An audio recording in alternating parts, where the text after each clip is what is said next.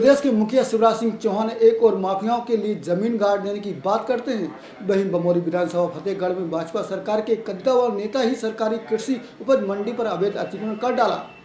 मामला फतेहगढ़ कृषि उपज मंडी का है। यहाँ एक नेताजी ने अपनी सरकार के ज़ोर पर मंडी नाले के ऊपर ही अवैध दुकान का निर्माण कर डाला। जानकारी के मुताबिक अतिक्रमणकारी मुरारी लाल बैरागी, वर्तमान भाजपा सरकार में फतेहगढ़ के स्थानीय कद्दावर नेता बताए जाते हैं। जो अक्सर सरकारी तंत्र में भी आओ भगत करते नज़र आते हैं, इन्हीं सब चीज़ों का फ़ायदा उठाकर नेताजी ने फतेहगढ़ कृषि उपज मंडी के नाले पर अपनी एक आलीशान दुकान का अवैध निर्माण कर डाला।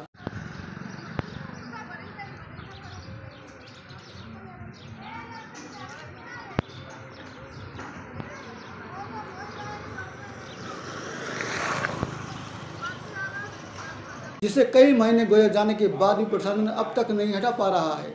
अतिक्रमणकारी मुरारी लाल बैरागी के कई बड़े नेताओं के साथ सोशल मीडिया पर फ़ोटो भी देखे जा सकते हैं।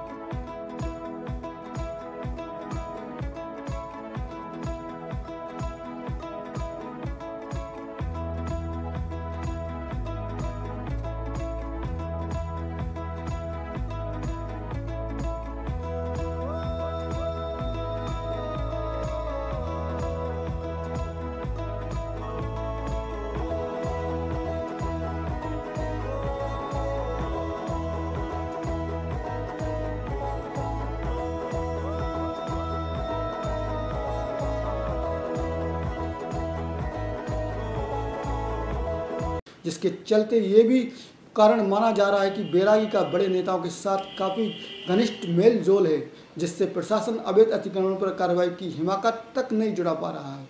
गुना से जालम सिंह की रिपोर्ट।